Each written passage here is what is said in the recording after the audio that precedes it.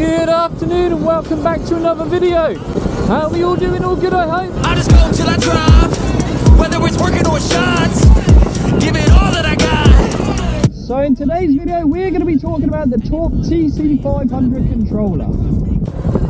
I've had the controller for about a month now, so I feel that now is quite a good time to review it in terms of the app, in terms of the performance, in terms of the style and the aesthetics of it, and just give my true opinion. Obviously, my first reactions, I was absolutely blown away by it. I could not believe that running a stock battery, you could achieve such incredible torque and top speed as well. Now, since that first video that I put out on the Torp controller, they have done a really nice firmware update which actually makes the calibration and the setup a lot easier. I'm getting loads and loads of questions. As I kindly received this free of charge from Torp, one of the main questions I keep getting is, actually if you had to pay for this, is it worth the money? Are there any other controllers out there that are any better or how does it compare to other products on the market? Now I can't really comment on some of the other products because I've, so I've only ever run the stock controller. And there's anyone with a Sur-Ron will know that these things are not slow as stock. And the performance that this controller gives is just second to none. It's just unbelievable. I always had a controller upgrade in mind along with a battery upgrade in mind as well. And of course, you start looking at all these different controllers and what they can do, what they can't do. And I think what stands out the most for me is this app. This app is just phenomenal. In the control that you get with it, just from sitting on the bike. Now, I'm sure some of the other controllers have this option, but I keep hearing that you have to go to these companies to get a tune and things like that, whereas I can change absolutely every ratio and aspect of this bike at a touch of a button. Not only that, but the data that this thing offers as well is just phenomenal. Now I know the stock controller and the, the stock display gives you a trip option, but obviously you get all of that, but it's the live data in terms of the battery, just telling you the cells on the battery and how they're doing, and temperature as well. Now, you may think, why, why do you need to know what temperature your controller and your battery are running at? But when you start doing these upgrades and you push this bike more and more and more, obviously there's going to have some sort of negative effect. There has to be. Because you're pushing that stock motor way faster than what it was designed to do. So actually keeping an eye on the temperature is a, is a really handy thing. But the main beauty of having this app is the ability to change the performance output of the bike. Whether you're looking to race these things and you need the absolute maximum kilowatts that you can get, whether you're looking to save battery because you need to get to a destination, I don't know whether you're commuting or you're out on a ride, meeting up with friends, or you've got a particular destination in mind that you need to get to, you can set all those ratios super low that there's not using loads and loads of battery to get there. You're not putting loads of output when you really don't need it. Now I know you've got this on the stock Sur-Ron in terms of your eco mode and your sport mode, but this just goes one step further than that. So for battery saving, there's nothing that's going to beat this.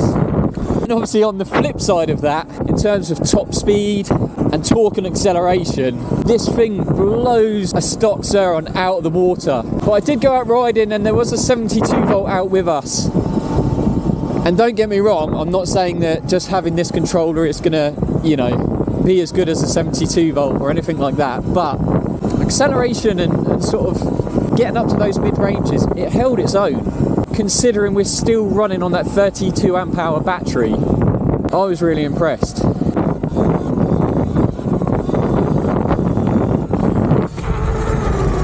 Now, one of the things that I do get asked a lot, and it, it was actually a major concern of mine talking about batteries, is you're putting the power mode up to almost double what a stock Sur-Ron runs at.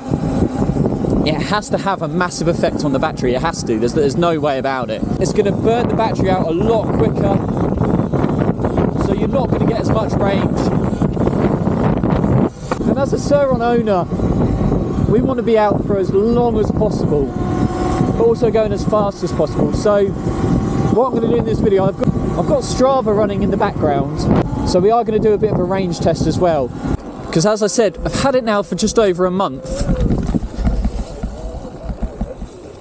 And the rides I've been out on, it's it's done all right. Considering, don't get me wrong, when you're out riding with other people, you're not full throttle the whole time. There are going to be times where you're slowing down. You're sort of doing, you know, like I am now, 60 mile an hour, 20, 30 mile an hour.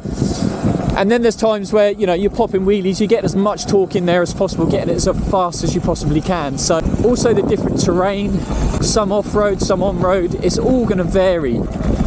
It's all going to have an effect on the battery. So I feel this route is quite a common route that I normally do.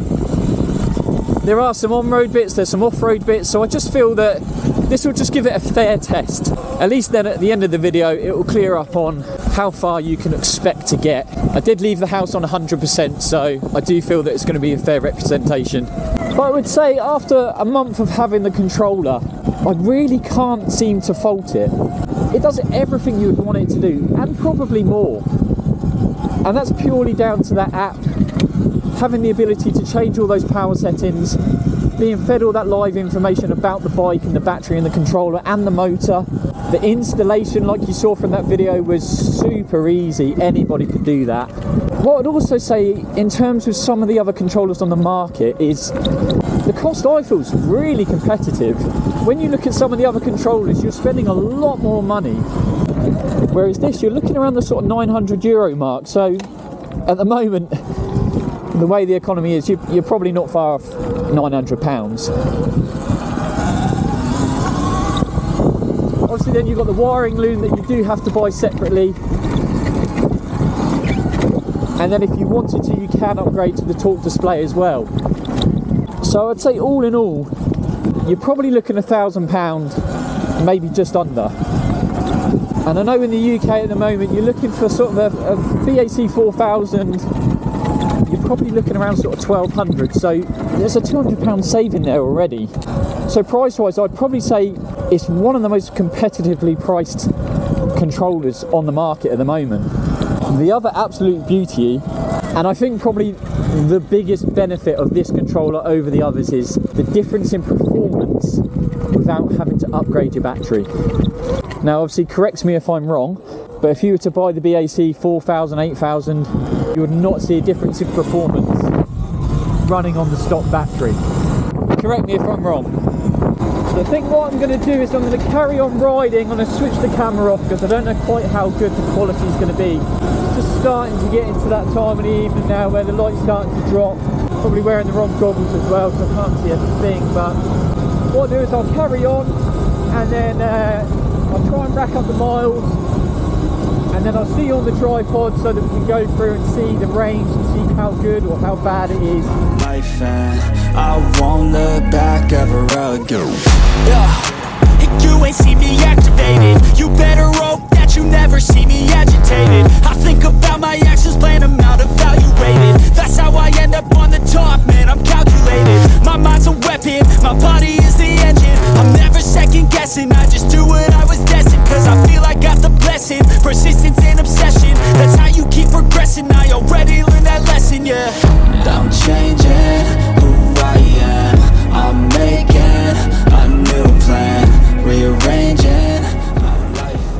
There we are then guys, ride over and the results are in. So looking at the Torp display, the trip computer was telling me that I've covered 17 miles and I had 30% of my battery remaining. So working out the math, if I was to run that battery right down to zero, I would have managed to get a range of 24 miles. Obviously I never run my battery any lower than 20%, but that's just going to give you quite a good indication. Now comparing this to a stock Sur-Ron, yes, I probably have lost a few miles off the range, but what we've got to remember is the fact that I'm now running this bike at 7.3 kilowatts, which is over double what the stock Sur-Ron is. If I was to go in and change those settings to put it down to what a stock Sur-Ron runs at, pretty much going to be on par, maybe even slightly better. But I think the main thing to really remember is the fact that you're running so much power and so much torque and you're getting a lot more on the top end as well. That has to come at a cost, and that being the range.